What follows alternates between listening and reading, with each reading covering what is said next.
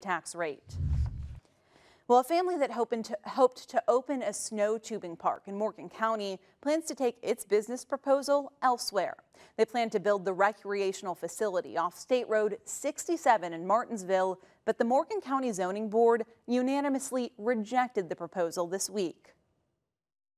Dale Martyn and her family moved to Martinsville from Texas to pursue their dream of opening a snow tubing business. My husband gave up his law practice to actually come here to follow my dream. They wanted property along State Road 67 rezoned for the recreational facility, which would include hills for tubing and a large slip and slide. It's a passion that we've wanted to do this. We've always wanted to open up a business like this for a family to enjoy. But only one person spoke in favor of the proposal during a hearing before the Morgan County Zoning Board. There is a shortage of small businesses in Morgan County and support for small businesses.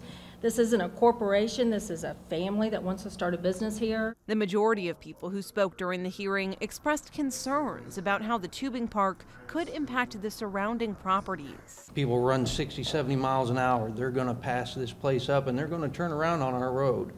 And when they do that, they're going to be backing in, pulling into our driveways, which puts our kids and our pets at risk. The staff at the nearby Link Observatory also spoke against the proposal, saying light pollution from the facility could make the Space Education Center obsolete. Don't compromise the beauty of the night sky and destroy the educational opportunities of future generations. Since the board rejected the proposal, the Martyn family says it will take the idea to Brown County. They hope to purchase the former Ski World property on State Road 46.